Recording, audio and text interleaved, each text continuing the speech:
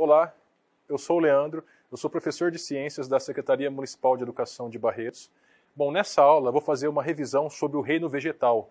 Eu falarei sobre os quatro grupos de vegetais que existem atualmente, que é o reino da, são os reinos da, das briófitas, que é um reino que evoluiu a partir das algas verdes, que são ah, espécies aquáticas.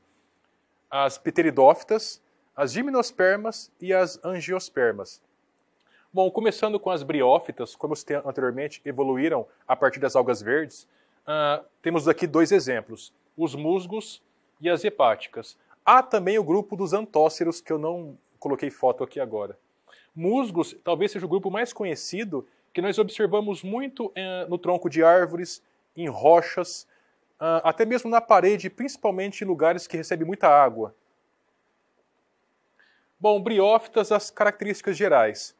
Uh, briófita significa em grego musgo, que é o principal representante, talvez, os musgos. Né? São plantas de tamanho reduzido, no máximo 2 milímetros de comprimento. Possivelmente foram as primeiras plantas terrestres. Não apresentam raízes, caules e folhas verdadeiros. Ao invés disso, eles têm rizoides, cauloides e filóides. Não tem raiz verdadeira porque no interior da raiz, das raízes, caules e folhas, não tem os tecidos condutores. Tecido condutor é uma estrutura semelhante a um canudo, a umas tubulações, que tem a finalidade de transportar água e sais minerais da raiz até as partes superiores da planta. Uh, e depois, chegando na parte superior, nas folhas, ocorre a fotossíntese, fabrica o açúcar que é a principal fonte de alimento das plantas e das, dos animais do modo geral. E esse açúcar é redistribuído para a planta por outros vasos condutores. Não tendo esses vasos, não tem essas estruturas verdadeiras. Bom, as briófitas, elas, como elas evoluíram no ambiente terrestre, diferente das algas, elas tiveram que desenvolver estruturas para evitar a perda excessiva de água por evaporação e transpiração. Essas estruturas são a cutícula e as ceras, que são substâncias gordurosas lipídicas que evitam essa perda de água, e também a epiderme, que é uma camada de células externas que facilita a retenção dessa água no organismo. Aqui um esquema, uma figura de um musgo de uma briófita. Bom, e possivelmente essas espécies surgiram num período anterior a 500 milhões de anos, no período geológico do Plioceno. Bom, agora as pteridófitas, o segundo grupo, que surgiu na evolução. Exemplo atual mais conhecido talvez sejam as samambaias, que pode ser utilizado tanto de forma ornamental na casa das pessoas em vasos, quanto no meio ambiente pode ser encontrado em florestas densas e mata fechada, principalmente nas florestas tropicais. Existem várias dezenas de espécies diferentes de pteridófitas, de samambaias. Né? Outras pteridófitas, as avencas, também pode ser, é muito comum ser observado ela como espécie ornamental em vasos. A selaginella, o licopódio e as cavalinhas.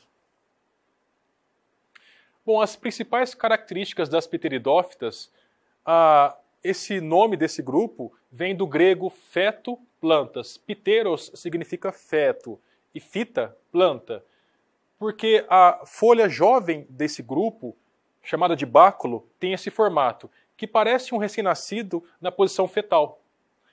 Como eu disse, tendo vasos condutores, tem raiz, caule e folha verdadeira. Então esse grupo já apresenta essas estruturas. São plantas maiores que as briófitas, em média. E o surgimento delas ao longo da evolução por volta de 450 milhões de anos, no período geológico do Ordoviciano. Bom, agora o próximo grupo, as gimnospermas, que já são plantas mais adaptadas para o ambiente terrestre, para o clima seco. Alguns exemplos, o pinheiro do Paraná, que pode ser encontrado especialmente no Paraná, no sul do Brasil, Santa Catarina, Rio Grande do Sul, mas também observamos essa planta no estado de São Paulo e em Minas Gerais. Outro grupo de pinheiros talvez seja a árvore que mais existe na Terra. Uh, é a, ela representa a árvore de Natal é, essa árvore ela forma a maior floresta do mundo em extensão, não em biodiversidade, que é a floresta amazônica. Em extensão é a taiga siberiana, que é uma floresta que ocupa grande parte da Sibéria, da Rússia nesse caso, da China, do Canadá, dos países nórdicos, Suécia, eh, Finlândia, Noruega, o Reino Unido e outros países também. Uma planta ornamental, uma gimnosperma ornamental, a cipreste, cicas, que também é ornamental. Bom, uma planta que pode ser encontrada na Ásia, especialmente no Japão e na China, o ginkgo biloba. O cedro, que é uma, uma árvore americana, é uma madeira muito nobre que, por esse motivo, ela é muito cortada e está ameaçada de extinção. Agora, a maior árvore do mundo, o grupo que tem as maiores árvores do mundo, as sequoias. A maior árvore do mundo pode chegar até 115 metros de altura. Existe uma floresta somente de sequoias na Califórnia, nos Estados Unidos, que é o Parque Nacional das Sequoias. Características das gimnospermas, também chamadas de coníferas. Coníferas porque eles, elas produzem o cone, também chamado de estróbilo, porque é uma estrutura de reprodução que tem a, o formato semelhante a essa figura da geometria espacial, que é um cone. Em grego, gimnosperma, gimnos significa nu, esperma, semente. É uma semente nua. Nua no sentido de não ter um fruto ao seu redor. Bom, uh, como eu disse, são florestas geralmente com árvores muito altas. Elas têm uma adaptação para climas quentes e secos, apesar de que nós observamos que os pinheiros podem também viver em regiões frias. Não necessitam de água para reprodução, de forma contrária à briófita e pteridófita que precisam, e elas surgiram uh, possivelmente cerca de 365 milhões de anos atrás, no período geológico devoniano. Bom, uh, a semente é uma característica das gimnospermas. Aqui uma semente, o pinhão, que é uma semente de uma araucária. A constituição de uma semente é uma casca protetora, uh, rígida, dura. No interior tem um embrião que vai dar origem à planta. E tecido de reserva, que é o nutriente que vai permitir o crescimento desse embrião. Bom, agora o último grupo das angiospermas, as principais características. Bom, angiospermas vem do grego angeos, que significa bolsa, esperma, semente. A semente revestida por uma bolsa, e essa bolsa é o fruto. Presença de flores e frutos. Se observarmos uma planta que tenha flor e fruto, é uma angiosperma com certeza. Tamanho dela, delas, dessas plantas, muito variável, pode ser pequena, média ou grande, ou muito grande. Essas plantas elas surgiram há cerca de 130 milhões de anos atrás, no período geológico do Cretáceo, que é o mesmo período que houve a extinção dos dinossauros. Agora, a estrutura de reprodução da planta é a flor, que uh, uh, caracteriza as angiospermas. Na flor temos tanto o órgão sexual masculino quanto o feminino. O feminino é essa parte central, que é formada por um ovário, que é essa estrutura aqui. Dentro do ovário tem um óvulo.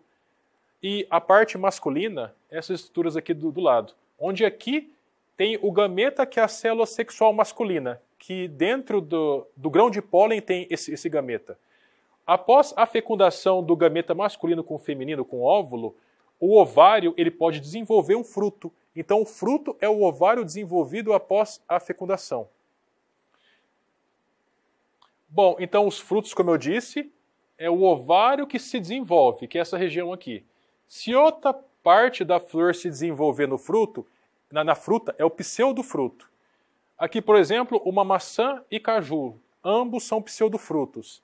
O, a maçã, a parte do, da flor que se desenvolve para formá-lo é o receptáculo floral que é essa região aqui de baixo. É uma região onde as peças florais se encaixam, ou seja, as pétalas e as sépalas.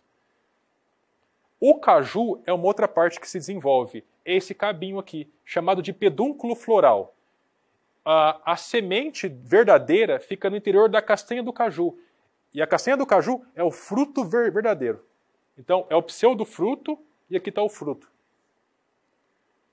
Agora, exemplos de angiospermas, o algodoeiro, a cana-de-açúcar, a jabuticabeira, cuja fruta é jabuticaba, o cacaueiro, cujo fruto é o cacau, a hibisco e a vitória régia. A flor da vitória régia e a folha. Perceba que, como eu disse, se existe flor, ou fruto é uma angiosperma. O trigo é um fruto seco, não é um fruto carnoso que acumula substância nutritiva, uh, substância que eu vou mostrar mais para frente. O trigo, toda planta é interessante que ela se espalhe na terra, porque aumenta a chance dela se manter viva. O trigo ele pode grudar na pelagem de alguns animais que passam por ali. E após isso, o, esse animal se desloca e esse, essa semente pode se soltar desse animal e germinar numa região distante. O dente de leão, a dispersão dele se dá pelo vento. Aqui um fruto carnoso, que é o mamão. Outros frutos carnosos, o abacate e a goiaba. Mais frutos carnosos, a uva, o umbu e a abóbora. Agora, frutos secos. Fruto seco não acumula substância suculenta carnosa ao seu redor. E de forma diferente, acumula substância fibrosa, rica em fibras, como por exemplo as vagens, também chamada de leguminosas, nesse caso aqui o feijão, também pode ser a soja, uh, o amendoim, o grão de bico, carrapicho, outro fruto seco, e a tipuana. Fruto do lobo é um fruto muito comum no cerrado brasileiro e em outras regiões do Brasil fruto do lobo, porque é a principal fonte de alimentação do lobo-guará, este animal aqui. É um animal muito era, era uh, muito disseminado no Brasil. Agora, como ele é muito caçado e com o aumento da área urbana, ele foi se retraindo em pequenas regiões. Né? Esse lobo-guará ele se alimenta do fruto do lobo, passa no sistema digestório desse animal, ele defeca, libera as fezes ricas nessa semente e as fezes já funcionam como um adubo para a germinação dessa semente. Então esse animal ele contribui para o espalhamento, para a disseminação dessa planta pelo Brasil. E ele também se beneficia com isso porque ele vai ter alimento posteriormente para poder se nutrir, se suprir. Agora um resumo do reino vegetal dos quatro principais, dos quatro grupos, e eu vou falar um pouco sobre os principais representantes, o porte de cada planta e novidades evolutivas. Bom, começar pelas mais simples, as briófitas. Exemplos: uh, musgos, hepáticas e antóceros. O porte delas, muito pequenas, no máximo 2 milímetros de comprimento. Novidade evolutiva, película protetora anti-ressecamento. Já que elas conquistaram o ambiente terrestre, elas tinham que desenvolver estruturas para evitar a perda excessiva de água por evaporação e transpiração. Segundo grupo, as pteridófitas, como exemplo, samambaias, avencas, selaginelas, licopódios e cavalinhas. São plantas maiores que as briófitas. Num passado muito remoto, onde não existiam ainda gimnospermas e angiospermas, as pteridófitas formavam florestas de árvores de grande porte, de grandíssimo porte, mas elas foram extintas e substituídas por esses grupos aqui. Essas plantas apresentam vasos condutores no seu interior e, por esse motivo, têm raízes, caules e folhas. Gimnospermas, como exemplo, as araucárias, os pinheiros, sequoias, ciprestes e cicas. Bom, formam florestas de grande porte, sendo que alguns representantes, como a sequoia, pode ser maior que 100 metros de altura. Principais novidades evolutivas sementes, cone ou estróbilo, que é aquela estrutura de reprodução, e presença de grão de pólen. Agora, por fim, grupo das angiospermas. Como eu disse, fácil, é toda a planta que tem flor e fruto. Exemplo, Vitória régia, cacto, cana-de-açúcar, carrapicho, mamoeiro, coqueiro, maracujá. Podem formar florestas de grande porte, médio porte e tem plantas rasteiras de pequeno porte. Novidade evolutiva, já falei, flores e frutos. Bom, esse era o conteúdo que eu queria ter transmitido. Bons estudos a todos.